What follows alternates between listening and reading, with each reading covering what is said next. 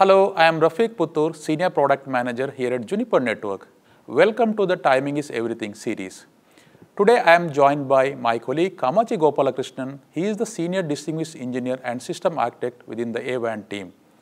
Today we are going to talk about network timing and why it is more important than ever. Kamachi, thanks a lot for joining today's session. If you look at today's dynamics, timing is everywhere. And as a company, we heavily invest on timing. And if you look at the current geopolitical scenario, timing plays a very, very crucial role, especially the network-based timing. Can you please explain why network-based timing has been so crucial in today's scenario? When it comes to network-based timing, I mean, when it comes to timing, first of all, to talk about, basically, you know, the primary source of timing, especially in the wireless communication, is GPS which is basically the GNSS, which is a global navigation satellite system. But the predominant satellite system, which is used for in most of the countries for source of the timing is GPS. So, but in war zone area today, the conflict area, if you really look at it, the first thing is getting impacted is the GPS. So either by spoofing or jamming, right? When the GPS is brought down, it's pretty much really like, you know, your wireless communication, you know, is disrupted. And this is not really just for, um, you know, the commercial wireless network, but also for, you know, uh, things like, you know, uh, government and military operations too. And uh, so that's where really like there is always a need for, you know, uh, alternate way to uh, support the synchronization in the network, and that's where the network-based synchronization plays a critical role. But if you look at today, right, it is not just about the 4G or the 5G. There are so many applications that are emerging. Right. So can you please quickly explain what are these applications where they are required this kind of critical timing application? timing. That's right. Like, you know, 4G and 5G is one of the area where timing and synchronization is very critical, but then there are other verticals. As our company, really, like, you know, we are heavily into apart from 4G and 5G and mobile backhaul applications, we are also involved in uh, financial services industry, where basically like the ESMA and SEC standard bodies are all mandate, mandating like really how you know, accurate the time uh, synchronization is, and which basically they are trying to use for um, timestamping the financial records, like a transaction records, right? And uh, whether it's for auditing or even for really high frequency trading point of view, uh, it's very critical the synchronization is. And then the other vertical, if you really look at it, it's a you know, professional video broadcast network. In professional video broadcast network, um, traditionally, it's used to be SDI technology. And then that basically, when the migration happened from SDI to Ethernet, then they need a synchronization uh, through the Ethernet technology. And that's where, again, network-based synchronization played a critical, which is, you know, predominantly, we are talking about precision timing protocol, which is yeah. PTP. Then also the cable vertical, right? When DOCSIS over Ethernet migration happened, so we need really synchronization between the CMTS and the RPD devices right? Yeah. And that is actually achieved by, you know, uh, network-based synchronization, which is again PTP these days. If you look at today, it's all about the mobile backhaul, the cable, the FSI, all the media company. But you know, there's a lot of new areas are coming. That's the right. ALML era, right. then all the automation, uh, the fully automated vehicle, the space right. exploration. Right. But as an industry expert, as a subject matter expert, what do you envision? What are the areas? What are the new applications going to play the critical role? With this with respect to this timing? The what we talked about this four verticals really like you know it's a huge already, but then there are so many other verticals are evolving or I would say not even evolving like you know already really looking for high precise synchronization. Yeah. Uh, one is the data center right where really like you know the access of the database from different systems need to be you know precise. If it is the more the precise you know the synchronized it is it's really like, you know, more efficient way you can access the database, whether for read or write operation and stuff like that. And then, of course, as you said, really like, you know, um, in fact, as a company, we worked with, uh, you know, rocket launching um, you know, c- customers really. Like it's playing a very critical role, um, synchronizing between the, the launch vehicle and the really like, you know, the ground station. Yeah. They need a high precise synchronization. And then when it comes to autonomous vehicle system, yes, I mean the self-driving cars and stuff, they really need very high precise uh, synchronization. Um, and then the E911, which basically mandates uh, locating like, you know, a subscriber, which is a cell phone, Yeah. You know, in a precise of like, you know, less than 10 meter or 100 meter kind of thing, which puts really like, you know, enormous onus on, um, you know, the precise synchronization, right? I mean, again, the other aspect which you talked about or you asked about, um, which is basically like, you know, on the AI and ML point of view, right? So we might have seen like quite a few, uh, you know, uh, already talks from Juniper, like, Yeah. you know, uh, from Sharada and uh, Bob Friday about really like, you know, network for AI, Yeah. right?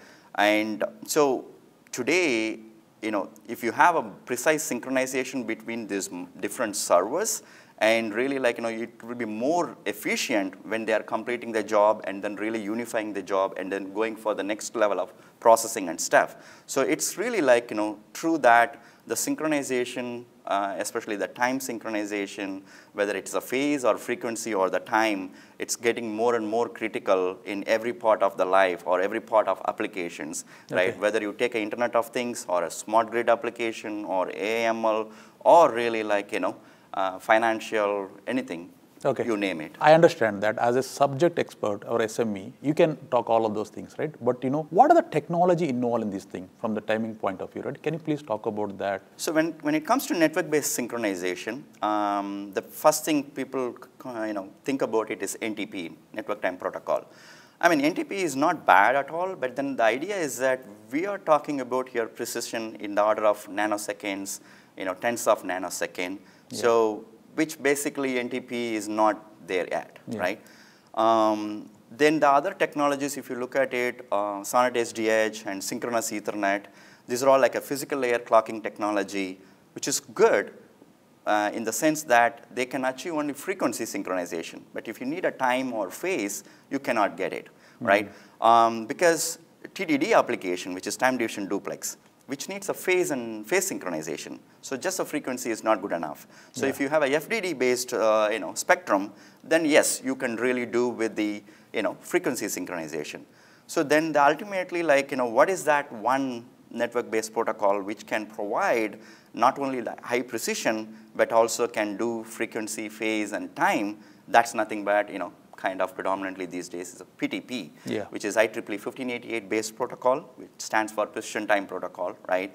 Um, so that is really the technology is getting adapted across, uh, you know, applications for high precise synchronization these days. But if you look at today's our investment, we heavily invest on network-based timing as a Right. Juniper as a company. But you know, if you look at our customer base, there's a lot of customers successfully deployed their various use cases using our devices. That's right. But if you look at the all the evolution happening, the newer trends happening, why a customer coming to Juniper? Because you know, Juniper considers a leading vendor for a timing solution. So can you quickly walk through why you think Yeah. Juniper has been the leading vendor and what are the devices are used in these kind of deployments? One thing, the value proposition that Juniper gives, it's really like, you know, huge, I would say, really. I mean, not just for the sake of like, you know, uh, what we are doing, uh, because when it comes to precision, right, we are talking about class C, class D, which is 10, 5 nanosecond precision, and then we are talking about the, Yeah. the full chassis, like our MX10K Yeah. or PTX10K platforms, or even starting from small cell site router like a ACX series, or really like, you know, um, you know, uh, big boxes like, you know, what I talked about, PTX uh, 10K or something, we are talking about, we are trying to meet the same 10 nanosecond or 5 nanosecond precision, right? Yeah. I mean, the worst case, in the early generation, we did 20 nanosecond, which is class B, Yeah. but then now we are moving more and more towards 10 and 5. And that's not something happens like, you know, in a trivial way, like, you know, it's not like a fluke, right? Yeah. So we have like, you know, um, uh, lot of effort on the system design aspect Yeah. of it. When we say system design, it's not just the software or hardware, but also our ASIC, right? And also how we design the overall system in order to meet that 5 or 10 nanosecond precision, Yeah. right? So um, when you talk about hardware, really like, you know, we use a high stratum 3E OCXOs, right? And then we use really like very advanced EEC PLLs, which is typically used for um, the jitter and wander cleanup for SyncE point of view, but also for the entire distribution of the clock within the chassis, yeah. starting from your RCB, where the central timing card, and all the way to the PHYs, which is, you know, in the line card, right, the yeah. egress point. But on top of it, we invest heavily on our ASICs, right? Yeah. So we, wherever we don't use PHYs, we use ASIC to do the time stamping, right? And not only like, you know, our uh, advantage is just really meeting this performance and stuff, we really have microcodable engine, especially on Trio ASIC, if you look at it, which can do really a lot of magic, right? Yeah. We can work across the different PHY time stamping And then really like, you know, we can encapsulate under whatever we want, right? Yeah, yeah. Whether PTPO or IPv4, V6 or Ethernet, uh, whether one tag, two tag or MPLS, one label, two label, three labels or VXLAN, right? I mean, we are very flexible when it comes to Trio ASIC, Yeah. right? Um, so there is a lot of aspect in the hardware point of view. When it comes to software, unlike other vendors, right, we basically developed in-house both stack and servo, Yeah. right? So which gives a huge advantage. It's not only like, you know, we put in our brightest minds and algorithm into it, but then really like, you know, we have a very good handle on it. When there is an issue reported from the field or something, we know wh where the problem is, Yeah. right? Unlike other vendors, they use their PLL vendors or their FPGA vendors solution or stack and servo, right? So which means like it takes time to really even, you know, triage the issues in the field. Yeah. So that's biggest advantage we have. Since we own the stack and servo and we have a reference design, so we use FPGA-based architecture, right? So why? The FPGA really gives you accelerated packet generation. So that's why really like, you know, our platforms typically support 512 clients, PTP Yeah. clients, which is really like, you know, not you can expect every other vendor can able to support it, right? With the same precision, with the highest packet rate possible, 128 packets per second and stuff, Yeah. right? And beyond all these things, you know, since we have a reference design, we have our stack and servo, we do everything in-house here, so we really like able to do across the platform, whether you take ACX or PTX or QFX or MX, our configuration commands, our operational commands, everything is really same, uniform, right? Yeah. So that gives a bigger advantage to the end user. Really like, you know, he's not really, uh, whoever it is, he's not really like, you know, struggling between like to pro provision ACX Yeah. versus MX versus PTX differently. Yeah. If you look at as a company, we heavily invest in network-based timing. There's a lot of customer successfully deployed, but you know, customer requirement keep on increasing. There is a lot of standard body recommendation. Then also we have a lot of our own proprietary of supporting. But if you look at both of them, you being both part of both the side, how do you see how we are aligned to that standard bodies? Yeah, the timing when it comes to really, uh, it's not like one standard. Like for example, unlike the other protocols, when you take a routing or something, like for example, you know, it's IETF is predominantly defining whether OSPF or you know uh, other uh, routing protocols, right? But when it comes to timing, really like you know, the idea is that different standard body is trying to do a different aspect of Yeah. it, right? So IEEE 1588 is, is a kind of a mother spec, right?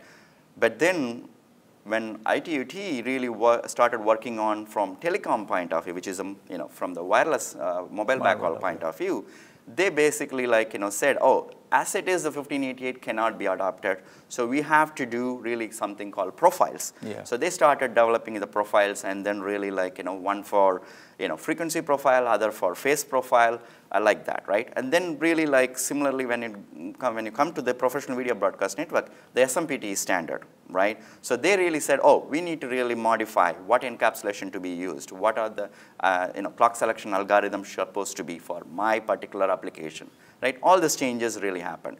And again, financial side, IETF really took over that. So from Juniper point of view, yes, we really like, you know, we are focusing like the, the main vertical where we are, right? Uh, which is a financial, mobile backhaul, and uh, cable, and really like professional media broadcast network. So we are basically very closely aligned with the different standards which is going on.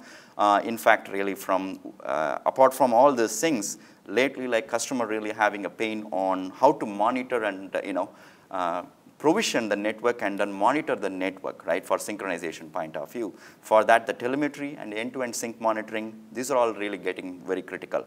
So from Juniper point of view, uh, we are heavily into the O-RAN standardization, uh, WG9 Xhaul transport network. So we are driving the synchronization architecture and solution. And then from IEEE point of view, we are closely involved. And ITU-T standard body point of view, we are working closely. And then, of course, we are picking really which platform needs what, and then which customer, okay. you know, it really like corners towards. Based on that, we are really like, you know, putting together things in Juniper side. Thanks a lot, Cam, for your insight. Thanks a lot, guys, for your time. Have a nice day. Thank you. Thank you.